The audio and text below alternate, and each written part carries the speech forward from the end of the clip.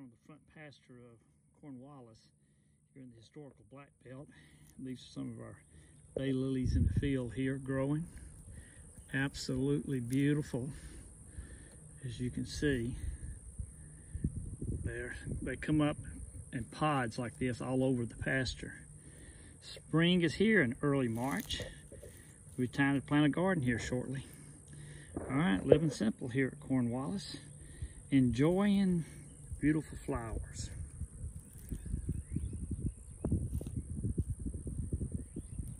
Living simple with Demp.